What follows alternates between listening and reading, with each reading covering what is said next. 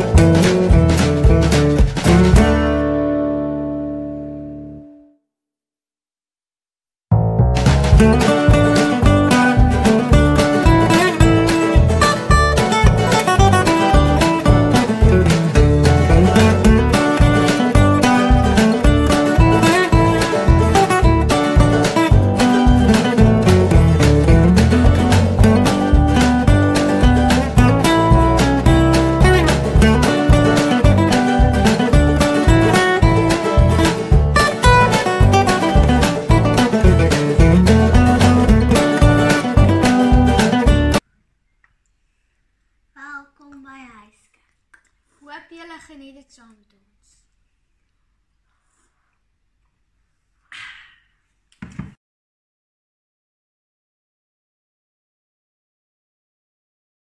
Goeiemôre julle. Sjoe, nou snel die jaar vinnig na die einde toe. En ons kuiertyd so saam daar in jou huis sluit ook binnekort af vir die jaar. Nou ek het verlede week begin deur te praat oor dinge waarvoor ons kan dankie sê. En daar is soveel dinge wat ons sou kom opnoem as ons terugdink aan al die dinge wat gebeur het hierdie jaar, al die goeie en al die slegte dinge. So dink gou vir 'n oomblik En sê dan vir die een wie langs jou sit, een ding of iets waarvoor jy vanoggend vir die Here wil dankie sê. Jy kan sommer die pause knoppie druk voordat jy dan verder kyk.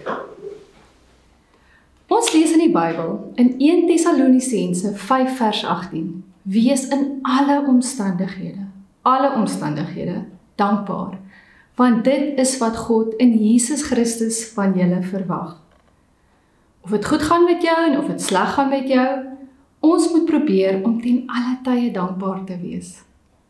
Kom ons loof die Here vanoggend wanneer ons sing ek het sy vreugde, sy vrede en sy liefde en sy vriendskap diep in my hart.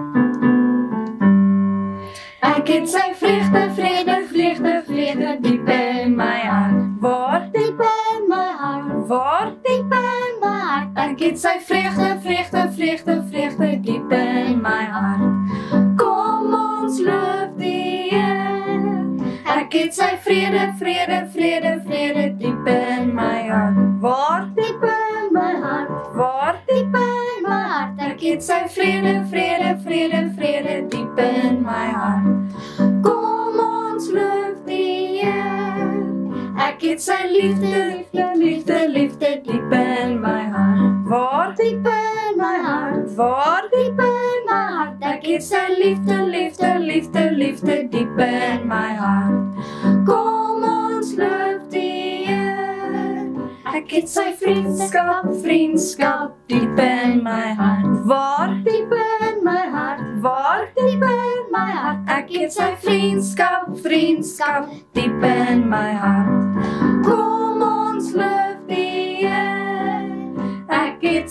Vreugde, vrede, liefde, vriendskap diep in my hart. Waar diep in my hart? Waar diep in my hart? Ek het sy vreugde, vrede, liefde, vriendskap diep in my hart. Kom ons loof die Here. Nou hierdie woorde is seker die belangrikste woorde in enige taal en is naas die woorde mamma en pappa wat jy heel eerste geleer het om te kan sê. Ek wonder of julle weet watter woorde praat ek nou van. Ja, dis reg, ek praat van die woorde asseblief en dankie. Nou van ons groter kids het seker al vergeet, maar toe julle almal klein was, het julle sommer baie na hierdie groot pers dinosaur Bani gekyk en saam met hom gesing. En een van hierdie liedjies wat Bani sing is Please and Thank You. Hy noem hulle die magic words. Dis wat Bani sê. He's talking about please and thank you. They're called the magic words. If you want nice things to happen, they're the words that should be heard. Remember, please, and thank you, because they're the magic words. Nou, Anelina sal weet, wanneer hulle vir iets vra, dan sal ek dikwels vir hulle sê, nou hoe vra 'n mens? Of wat is die geheime woorde? En dan wanneer hulle dit sou kry, dan sou ek sê, nou wat sê mens nou weer? En dis hoe hulle dit geleer het om please and thank you te sê. Nou om dankbaar te wees is om tevrede en gelukkig te wees met wat jy het en wat met jou gebeur. Dis om eerder te dink aan wat jy het as dit wat jy nie het nie. Maar ai tog, ons kla so maklik en dit kom so natuurlik. En weet jy, mense kan al van vroegoggend tot jy gaan slaap net die hele dag kla. Ek gaan vir julle wys en dan kan julle kyk of julle dalk hierdie persoon herken.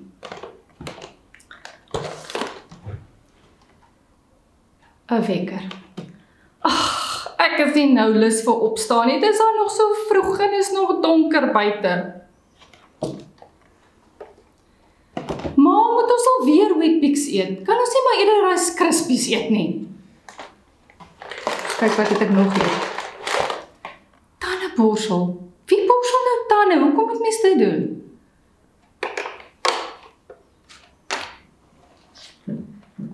'n huiswerkboek. Ag. Nou huiswerk? Huiswerk is vir die voëls. Ek kan dit later doen. En dan nog iets wat jy gaan herken. Remote. Ek wil eers TV kyk voor ek my huiswerk doen. Ag. Huiswerk kan maar wag. TV is nou belangriker. En dan wanneer jy gaan eet in die aand, macaroni. Ag, maak kan ons nie vir 'n slag iets anders eet nie. Kom ons gaan eerder spur toe. Nou gaan slaap jy? Lekker op jou kussing. Ag, is dit nou al slaaptyd? Ek voel nie moeg nie, mamma. Klink hierdie vir julle bekend? As ons almal mooi dink, het ons soveel om voor dankbaar te wees. Die probleem is nou net, ons aanvaar net dat alles so moet wees. Ons aanvaar dit as vanselfsprekend. En in plaas daarvan om met 'n attitude of gratitude te lewe, gaan ons dag na dag aan sonder om dankie te sê vir al die dinge waarmee die Here ons seën en bederf. Nou hierdie attitude of gratitude of hierdie magic woorde het my dadelik laat dink aan die verhaal in Lukas 17 vers 11 tot 19. Julle kan so lank in julle Bybels blaai na die boek Lukas, Matteus, Markus en dan Lukas. Jesus was op pad Jerusalem toe, toe hy 'n groep melaatse mans raak geloop het. Nou julle melaatsheid is nou meer as net jou gewone verkoue. Dis 'n aaklige en nare siekte. Die die siekte veroorsaak dat jy seer reg kry, reg oor jou lyf kry en dit steek gewoonlik vinnig aan en raak vinnig erger met soveel pyn en soveel irritasie. Nou wanneer jy melaats was, moes jy buite die dorp gaan bly juis omdat dit so aansteeklik was. So hierdie melaatse mense was ook amper so in lockdown en op hulle eie gewees en niemand mag naby hierdie mense gekom het nie. So jy wil nie melaatsheid hê nie want dan gaan jy verskriklike en 'n eensame lewe moet lei. Nou toe Jesus nou verby hierdie melaatse mans gekom het, het hulle geweet Jesus kan hulle gesond maak. Kom ons lees hier in Lukas 17 hier by vers 11. Op sy reis na Jerusalem toe het Jesus al met die grens tussen Samaria en Galilea langs gegaan. Net toe hy 'n sekere dorpie wou binnegaan, kom 10 melaatse mans om te gemoed. Maar hulle bly op 'n afstand staan en roep hard: "Jesus, Here, ontferm U oor ons." Toe hy hulle sien, sê hy: "Gaan wys julle vir die priesters." Op pad daarheen het hulle gesond geword. So hierdie melaatse mans wou hê Jesus moet hom ontferm oor hulle, hulle jammer kry en hulle genadig wees en hulle dan gesond maak. Nou dink dan net vir jou in, toe hierdie mans begin dorp toe stap of dorp dorp toe hardloop na die priesters toe en hulle sien hoe hulle gesond word en hulle melaatsheid verdwyn, hulle kon seker nie hulle oë glo nie. Jesus het net deur te praat vir hulle gesond gemaak. Nou, kom ons kyk hoe reageer hierdie mans. Een van hulle, ek is hier by vers 15. Een van hulle het, toe hy sien dat hy genees is, hy's nou gesond, omgedraai en God hardop geprys. Hy het voor die voete van Jesus neergeval en hom gedank. Hierdie man was 'n Samaritaan. Toe sê Jesus: "Maar was daar nie 10 wat gesond gemaak is nie? Waar is die ander 9 dan?" Is daar niemand anders wat omgedraai het om God die eer te gee behalwe hierdie man wat nie eers 'n Jood is nie? En vir hom sê hy, dis nou Jesus, staan op en gaan huis toe. Jou geloof het jou gered. Julle net een het kom dankie sê. En ek wonder wat het Jesus gedink toe hy sien daar het nou net een ou na hom toe teruggekom. Jesus het hulle genees van hierdie verskriklike terrible siekte en hy het vir hulle 'n manier gegee om weer na hulle families toe, na hulle families toe te kon teruggaan en weer 'n normale lewe te kan lei. En net een ding daaraan om vir hom te kom dankie sê. Nou deur te vra, was daar nie 10 van julle nie wys dat Jesus teleurgesteld was en hy was seker maar geskok deur hulle reaksie.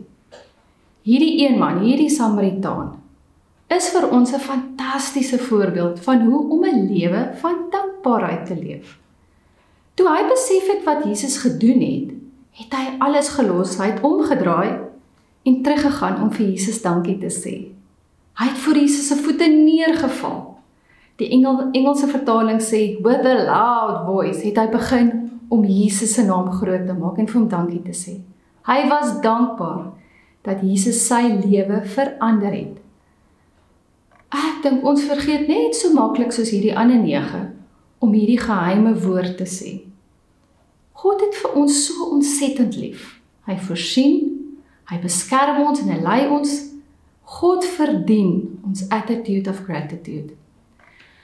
Nou wonder julle seker maar, ag tannie Liesel, hoe gaan ons dit regkry om so 'n lewe van dankbaarheid te lewe? Eerstens, lewe so dat ander kan sien jy's dankbaar vir wat God vir jou gedoen het en wat hy elke dag vir jou doen. Maak 'n tydjie in jou dag om vir hom dankie te sê. Ek het vir julle so glaspotjies saamgebring en een dingetjie wat julle kan doen, julle kan elke dag op 'n papiertjie een ding neerskryf waarvoor jy vir Jesus wil dankie sê. En dan sit jy dit in jou botteltjie en teen die einde van die jaar het jy 365 dinge waarvoor jy vir die Here dankie gesê het. En dit is 'n baie goeie manier om jou te kan te kom herinner op hierdie dae wat jy so moedeloos voel om weer deur hierdie papiertjies te gaan. En dan wanneer jy bid voor jy eet, daai oomblik wat jy net so stil raak, dan sê jy dankie vir die kos wat jy kan eet. Of na jy toets geskryf het of een van die dae na jy groter kinders eksamen geskryf het, sê vir God dankie dat hy jou kalm gemaak het en die wysheid gegee het. En dan As jy sommer so elke dag besig is en jy besef iets wat God doen, sê sommer dadelik vir hom dankie. So wanneer jy weer môreoggend wakker word of mamma kom maak jou wakker, hoe kan jy dan nou eerder jou dankbaarheid wys eerder as om te begin kla? So kom ons gaan gou weer deur daai goedjies in die begin.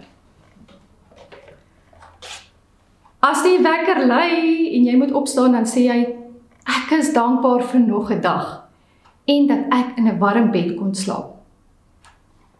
As jy weer moet Weet-Bix eet dan sê jy, "Dankie Here vir Weet-Bix. Dit gaan my sterk en gesond maak en my maag gaan vol wees." As jy dan nou weer jou tande moet borsel, dan sê jy, "Dankie Jesus vir 'n tandeborsel en dat daar 'n manier is dat ek my mond kan skoon hou." En dan as jy moet huiswerk doen, In plaas daarvan om te kla, Dan sê jy dankie Here vir die geleentheid om te kan leer en dankie vir 'n skool waartoe ek kan gaan. En dan as jy wil TV kyk en jy vat daai afstandbeheer in jou hand, dan besluit jy, mm, ek gaan eerder later TV kyk. Huiswerk moet eers gedoen word.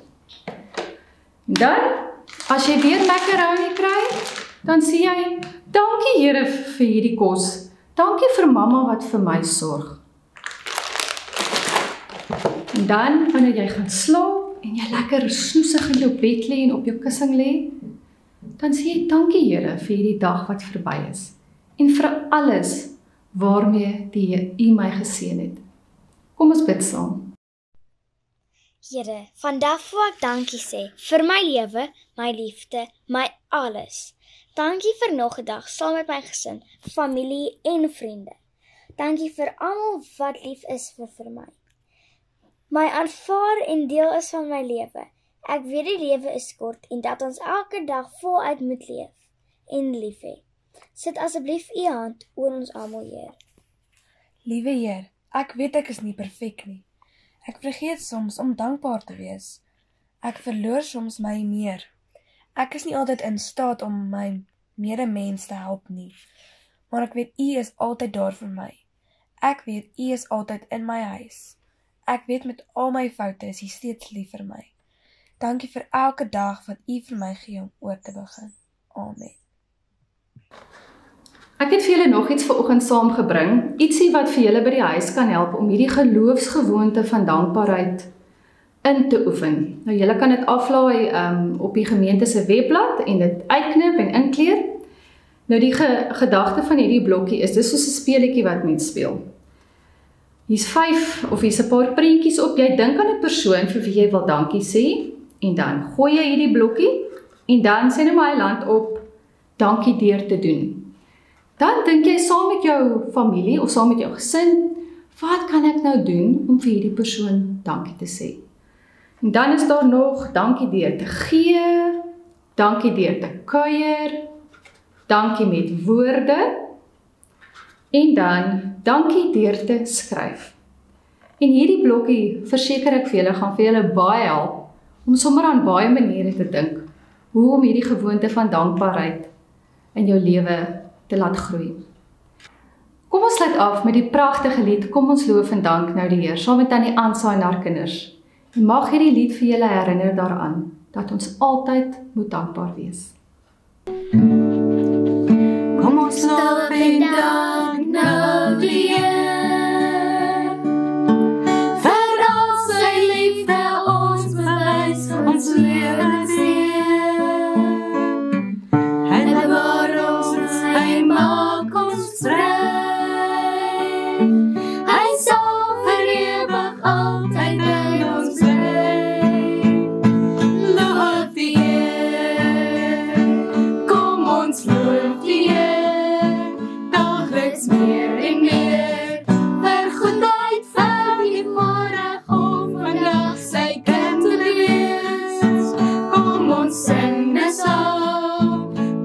Kom ons